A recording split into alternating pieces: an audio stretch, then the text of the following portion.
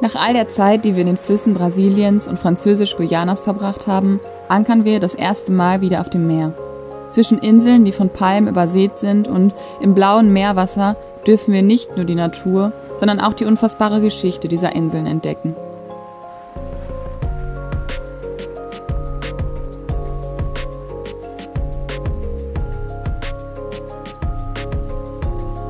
Aufgegangen und ich bin aufgestanden. Es ist hier ein wenig kühler als am Festland und ich höre die Wellen hinter mir gegen die Steine schlagen und die Affen und die Vögel, die auf der Insel kreischen. Heute ist der Tag gekommen, wir können die Inseln anschauen, die schon von hier einfach so unfassbar cool aussehen. Und ich kann es kaum erwarten, dass Tilo gleich aufsteht und der Tag losgehen kann. Und wir mit dem Dingi rüberfahren und diese Inseln erkunden.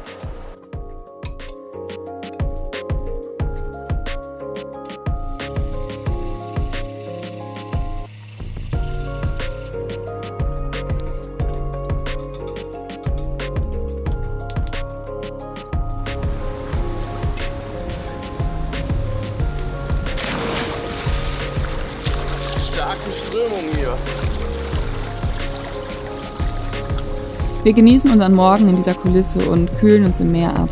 Was wir noch nicht wussten zu diesem Zeitpunkt, dass viele Bullenhaie in den Buchten um die Inseln unterwegs sind. Uns wurde also davon abgeraten, nochmal baden zu gehen. Kokosnüsse zum Frühstück dürfen hier natürlich nicht fehlen.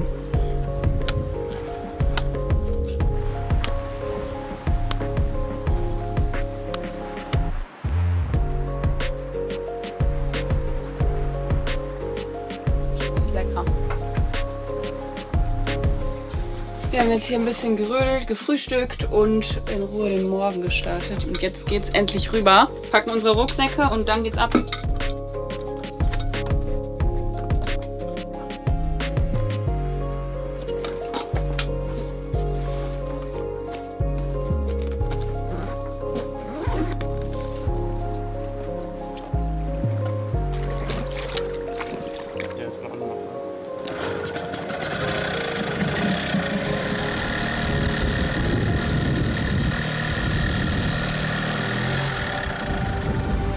Wir packen also unsere Sachen zusammen und lassen unser Boot alleine. Da wir die Ile Saint-Joseph schon am Abend zuvor besucht haben, wollen wir heute auf die Ile Royale. Die dritte der drei Inseln, die Teufelsinsel, darf nicht betreten werden, doch dort gibt es eh nicht viel anzuschauen. Das Gefängnis, der Friedhof und vieles weitere befindet sich auf der Insel, die wir heute besichtigen werden.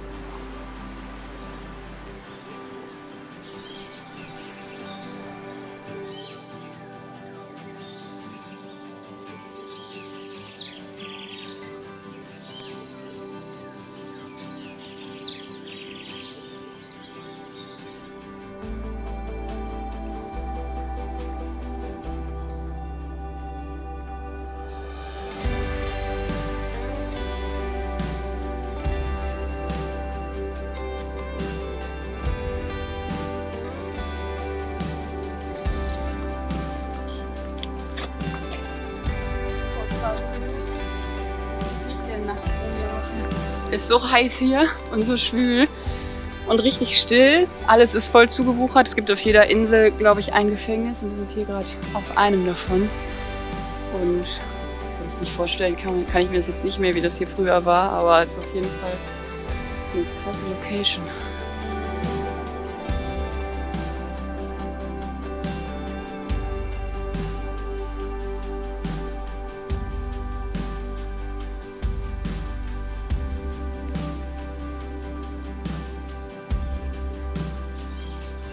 Wir sind jetzt gerade im Inneren des Gefängnisses und hier ist eine ganz große Mauer und die ist einfach doppelt vergittert, immer da, wo die Fenster sind. Und hier sieht man quasi noch die Häuser, die Reste von den Häusern. Die Dächer sind nicht mehr da, aber die Wände stehen noch.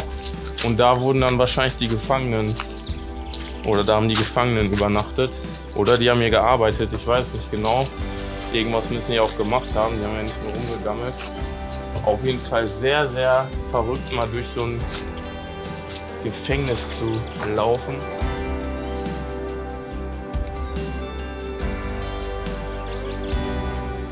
Wir sind jetzt hier an den Gefängniszellen angekommen. Das ist einfach heftig. Das sieht eigentlich fast genauso aus wie im Film, als Papillon geflüchtet ist und dann in diese mega, diese Einzelzelle gekommen ist. Hier mit diesem Gitter oben. Ich gehe jetzt mal in eine rein.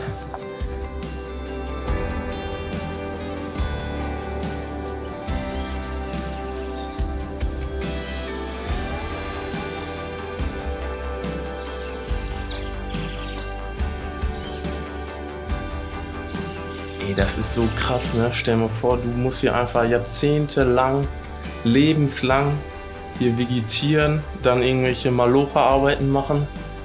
Unvorstellbar, unvorstellbar. Fast 100 Jahre lang wurden die drei Inseln, die zusammen die Inselgruppe Ile de Salou bilden, als Gefängnisinsel für französische Gefangene genutzt. Von 1852 bis 1946 mussten die Gefangenen hier aneinandergereiht Zwangsarbeit verrichten.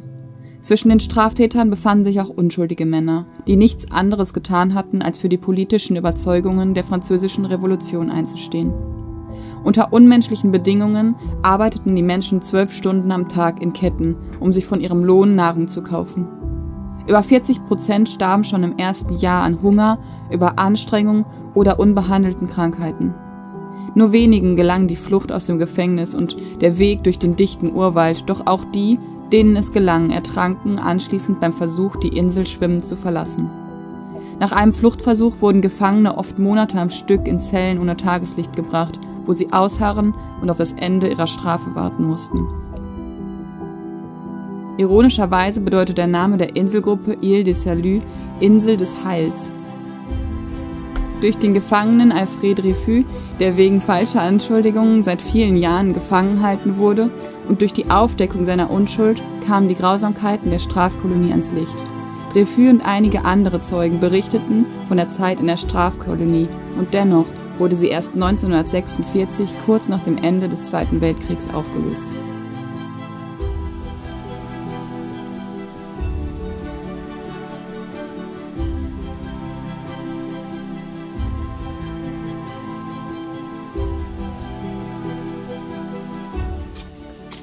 Hier ist Papillon dann durchgerannt. Das ist doch krass, oder? Dann ist er hier immer so, dachte so, scheiße, ich habe gar nichts verbrochen, jetzt muss ich irgendeinen Scheiß machen. Und dann werde ich jetzt bald irgendwann flüchten. Und dann, ey, das ist echt eine Kulisse jetzt mit dem Baum hier, wie die Wurzeln sich hier durchgezogen haben, dass das jetzt sich quasi die Natur zurückgeholt hat.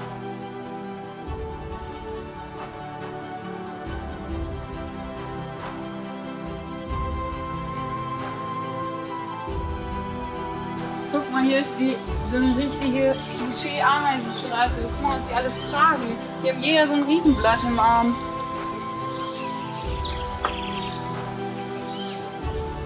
Hm. Die sind ja so lustig.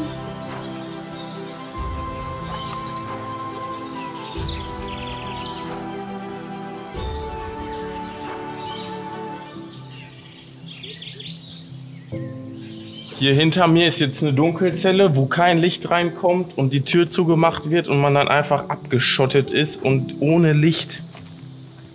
Leben ist auch einfach krass.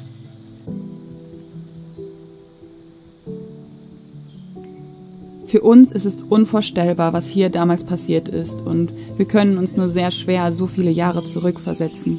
Die Zellen und Mauern sind mittlerweile zugewuchert und teilweise eingefallen, doch es herrscht eine düstere und drückende Stimmung. Es war ein Ort des Grauens inmitten dieser atemberaubenden Natur.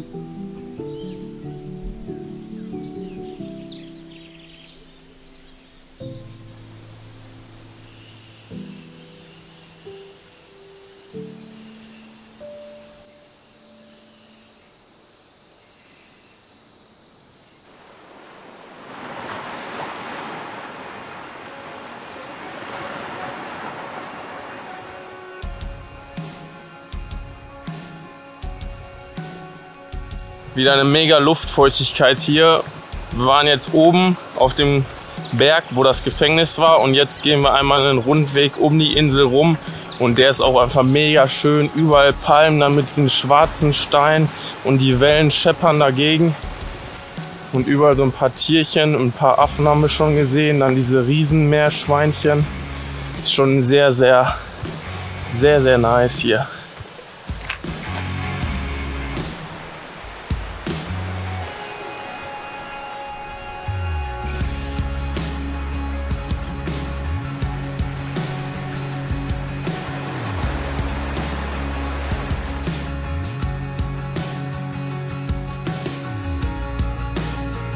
Angst, dass mir eine Kokosnuss auf den Kopf fällt.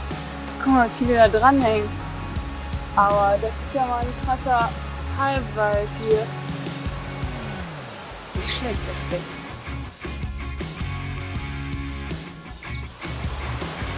Einen Friedhof gibt es hier. Vielleicht wurden hier die Gefangenen, die gestorben sind, beerdigt. Also Minigräber irgendwie.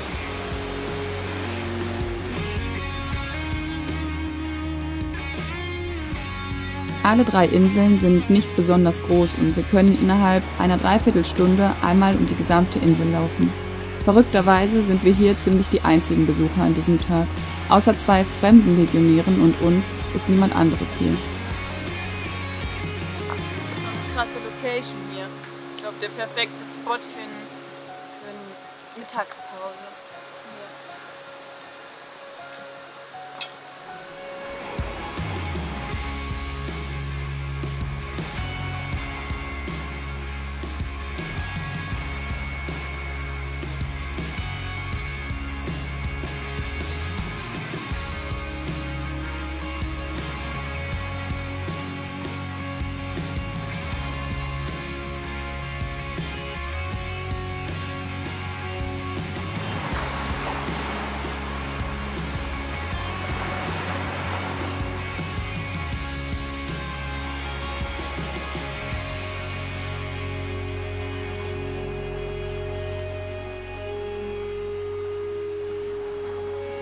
Wir haben jetzt hier die Insel ein bisschen erkundet und sind jetzt hier unten an die Gebäude gekommen und haben jetzt hier zwei Leute getroffen, die sind von der Fremdenlegion und die sind hier ein Jahr quasi stationiert, kümmern sich hier um die Gebäude und leben hier und machen hier klar Schiff und dann wechselt das wieder und die machen das hier alles sauber, weil das ein Spot ist, wo die ganze Fremdenlegion Urlaub machen kann quasi. Hier kommen dann immer welche hin und wir fragen jetzt mal ein, was das überhaupt genau ist und genau, was da so los ist, weil das ist ja schon ein ganz spezielles Thema.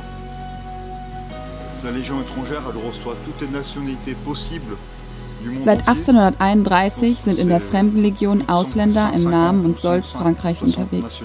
Sie sollten die hehren Gedanken der Revolution in die Welt tragen. Doch von Beginn an waren die meisten Legionäre weniger Idealisten als gescheiterte Existenzen. Heute besteht die Fremdenlegion noch aus rund 9000 Soldaten, die auch im Rahmen der Vereinten Nationen eingesetzt werden. Anders als früher stammen die meisten nicht mehr aus den Nachbarländern Frankreichs, sondern aus insgesamt 140 Staaten. Auf uns wirkt André patriotisch und vertritt umstrittene Ansichten. Und trotzdem war es für uns interessant, ihm zuzuhören und ihn dabei zu beobachten, während er über die Fremdenlegion spricht.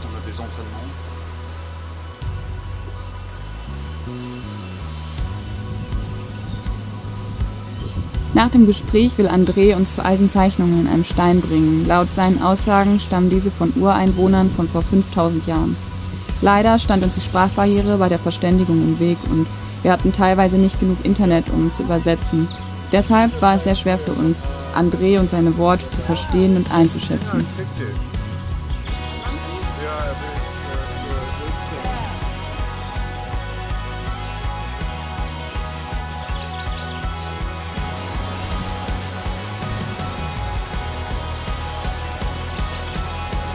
Sind mit dem Fremdenlegionär nochmal zurückgegangen, wo wir vorhin waren, wegen den 5000, Ja- 5000 Jahre alten Zeichnungen in den Steinen. Und wir sind auch nochmal hier vorbeigekommen an dem Friedhof.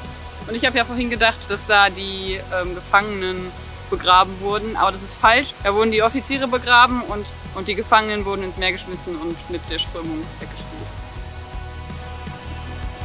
Alle Infos sind hier in diesem Video nur kurz angeschnitten, denn alles weitere würde den Rahmen sprengen und dennoch hoffen wir, wir konnten euch einen kleinen informativen Einblick geben. Wenn wir euer Interesse geweckt haben, dann lest das Buch oder guckt die alte oder die Neuverfilmung von Papillon. Wir haben uns letztens die Neuverfilmung angeguckt und die war auf jeden Fall sehr empfehlenswert.